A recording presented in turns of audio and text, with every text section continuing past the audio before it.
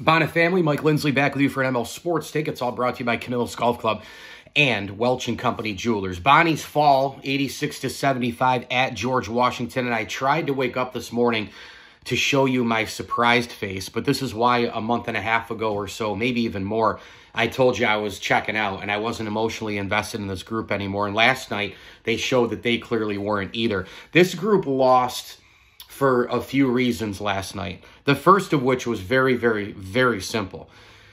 They did not close out on the three point shot the entire game. The first part of the game, right from the beginning and right to the end, they did not close out on three point shots. It didn't matter if it was out on the wings. It was very rare where there was a major contested shot. And then in some cases, George Washington still made it. But to let them shoot 29 of them just by a numbers game, you're going to make I would say probably six or seven at the Division One level at least, whether they're challenged or not. Let's say that's a minimum. You know, you get into that world, maybe you make eight, eight for 29. You know, you do the quick math there, and you're, you know, you're right around that, you know, 25 to 31, 32%. Um, you know, give or take one less, one more. They made 15 of them. I mean, they shot 51.7% from three. So too many attempts. And then, you know, they made the 15 of them. So that to me was right there the, the A number one problem. I mean, you give up 45, three, uh, 45 points to three pointers. You're going nowhere in college basketball. And, and most of these teams practice three pointers more than they practice free throws, practice layups, practice basics.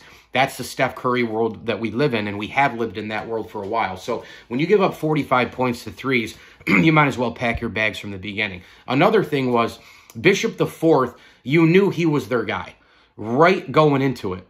And there were no adjustments made to him from the beginning of the game to the end of the game. And that's a Mark Schmidt problem. That's a coaching problem for sure. Uh, 27 points, uh, you know, to the guy who, if you stop him, if you remotely control him, you might win the game. Now, they did give up Edwards, uh, seven, uh, 19, excuse me, to Edwards off the bench, which was a surprise as well. Um, which brings me to the second thing. I thought in the first half, Bonaventure overall, effort was there, balanced scoring was there, the defense was not there. But effort, energy, balanced scoring, and, and, I like the way that they were attacking offensively. Um, I actually think Bonaventure should do more of the mid range game because they have quick, you know, pull and pop type guards who can stop and pop and go up. Even, you know, Banks has that style. For example, Flowers for sure has that style. Pride has that style, and Adams Woods can do it too. You know, dribble up, dribble, make your move, boom, stop, pop, you know, maybe even a leaner and shoot right over somebody. Also, is Semvis can do it and Evans can do it.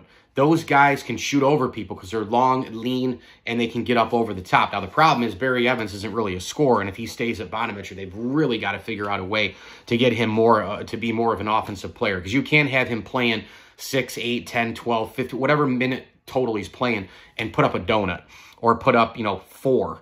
Uh, while the guy goes in and gets usually a bunch of rebounds and all the rest, he was a non-factor last night. I, just, you know, you, you got to have a little bit more offensively from him. But you can see Semvis, you know, can do it too, you know, right in, in the mid range and shoot over people. Um, so I was okay with the first half overall, except for the defense, especially in the offensive, you know, side, the execution. I mean, my God, they scored 42 points. They, they were up 42 to 37. It should have been by more, okay? But I like the mid range game, the attack, moving without the basketball. There were a couple of blip turnovers and all the rest. But the end of the first half kind of changed things from a momentum standpoint. There's no question about it. St. Bonaventure was up 42 to 34 after the Adams Woods free throws, and you're and you're feeling pretty good, right?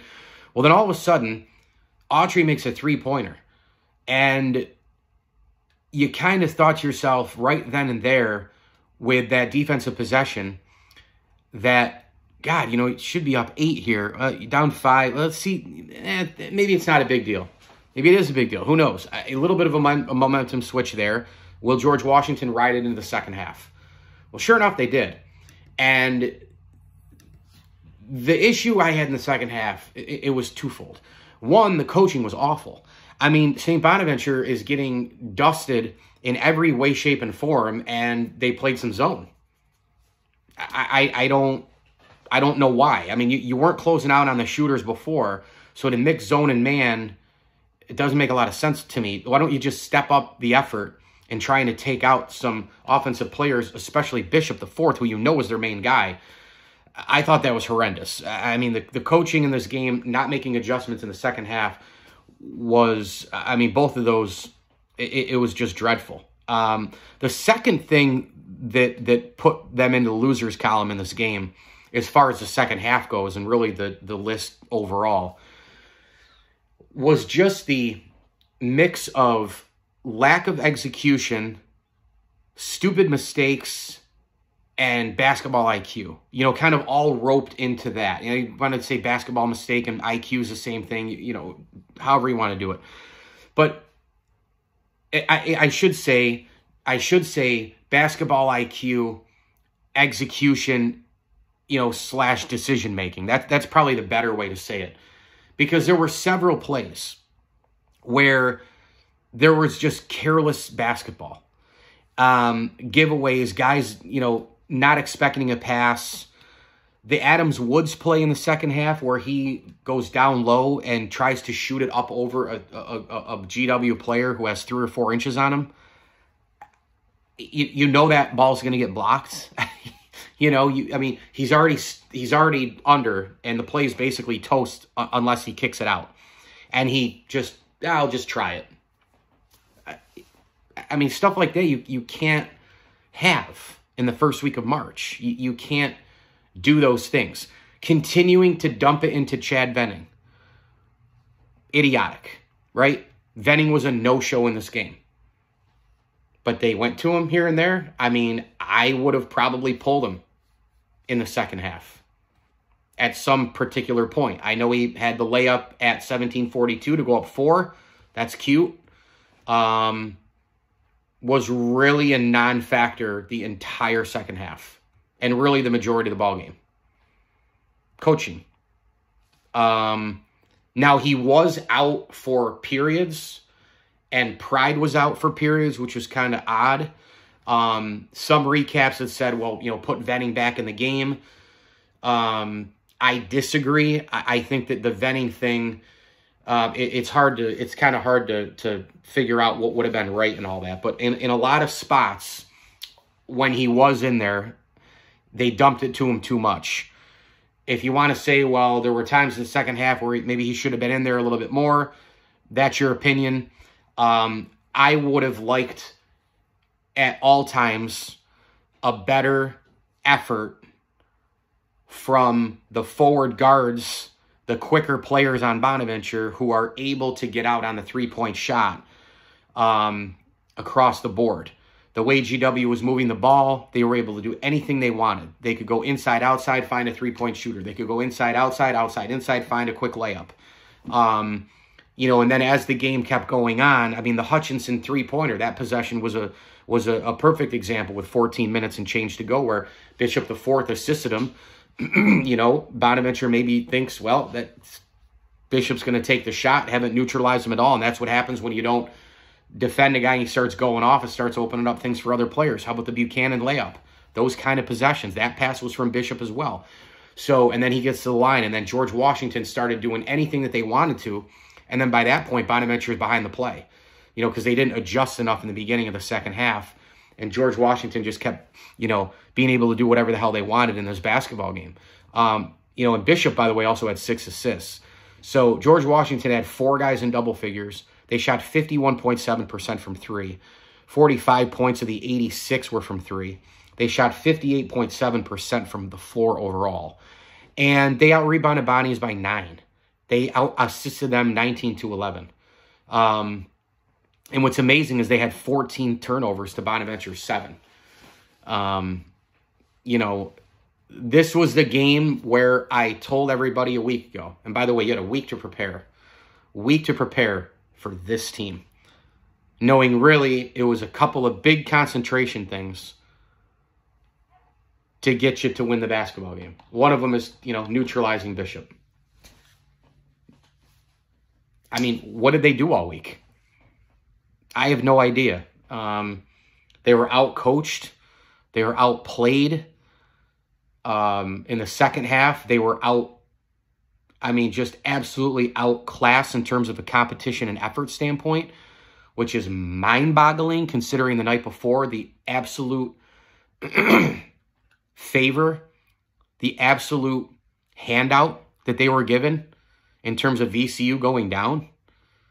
And knowing that if you beat GW and you beat St. Louis and Dayton beats VCU, um, in the final game that you know you actually sneak into the double bye, which two months ago was absolutely laughable to think about.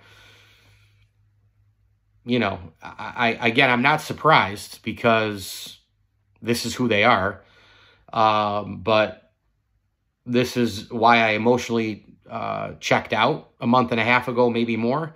Um, we rode the roller coaster way in the beginning and could kind of see What's amazing, though, is these shooting numbers for St. Bonnie. 10 to 12 from the free throw line, 11 of 24 from three, and 48.2% from the floor. This reminded me a lot of Syracuse the night before. They scored the same exact amount of points as Syracuse, and the defense was horrendous. Didn't close out. And then in the second half, obviously the offense got a lot worse St. Bonnie only scored 33 in the second half. They got outscored 49 to 33. But overall, if you score 75 points in seven out of 10 basketball games in, at the collegiate level, I, I would say if you play relatively, excuse me, solid defense, you're going to win the game. If you score 75 points, you have a pretty good shot. I mean, you know, again, I, I wish I could tell you I'm shocked, but I, I'm not. Um, and, you know, I, I said it in the last video. This is where they crash.